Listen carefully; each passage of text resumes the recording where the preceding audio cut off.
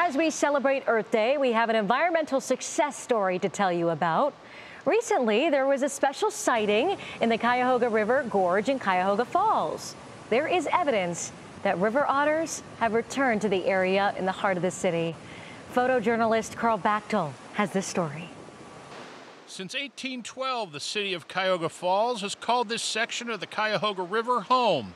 As the city grew, so did industries that damaged the crooked river. If you look at old photography, it was completely packed with um, industrial plants. Uh, they were all emitting all sorts of really horrible things into the river. But those days are long gone.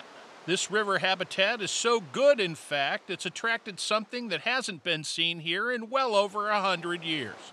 River otters. Don Howdyshell captured this video. All the credit goes to my dog, though. Molly spotted the otter first, so now she's been nicknamed the Otter Spotter. The sleek swimming mammals have made a comeback in Ohio and have been seen all along the Cuyahoga River, just not between busy Route 8 and the riverfront Sheraton. When we found that there's river otters, we know that the environment is getting better to support that. So very excited.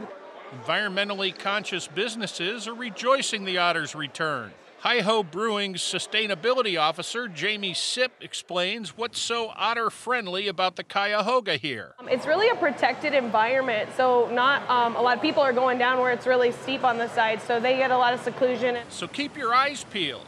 You never know what you might see along this section of the Crooked River. The otters, mink, beavers, great blue herons, bald eagles. Great eyes, Molly. Good dog. In Cuyahoga Falls, Carl Bachtel, 3 News.